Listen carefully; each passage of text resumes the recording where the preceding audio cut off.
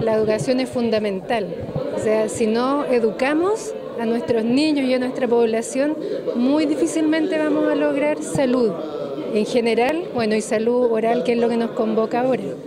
Entonces, la idea es lo que se hace en JUNEP y lo que se propone también en este seminario es esta integralidad. Nosotros tener a la población, educarlos, hacer promoción, hacer prevención, pero también hacernos cargo del daño, porque hay un daño muy alto en Chile en salud bucal y desde la infancia. Entonces esta integralidad eh, te da la posibilidad efectivamente de tener una población sana futura.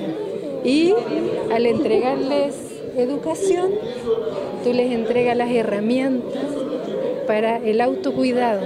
Es decir, si ellos llegan con daño, uno les enseña que nunca más tengan daño. Y en salud bucal es muy fácil la prevención.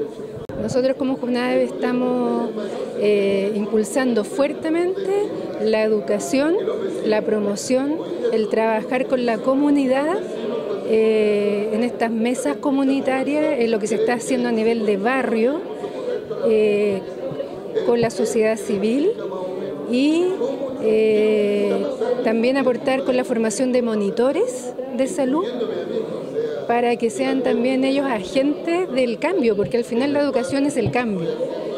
Y por supuesto también dentro de lo que nosotros podemos aportar para eh, atención al daño, también lo hacemos. Pero específicamente en esta propuesta, como nosotros más potentemente podemos colaborar, es con la educación, la promoción, trabajo comunitario, trabajo con familias, entregar las herramientas para evitar el daño futuro.